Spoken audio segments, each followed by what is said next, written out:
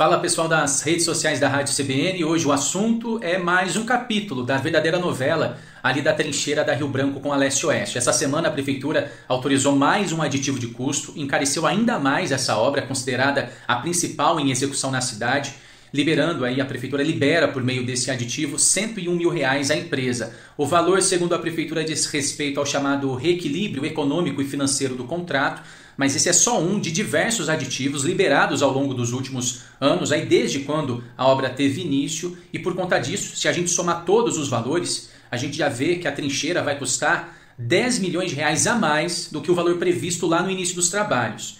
Eram 25 milhões e a gente já está com um orçamento aí de quase 35 milhões. Isso sem contar os atrasos.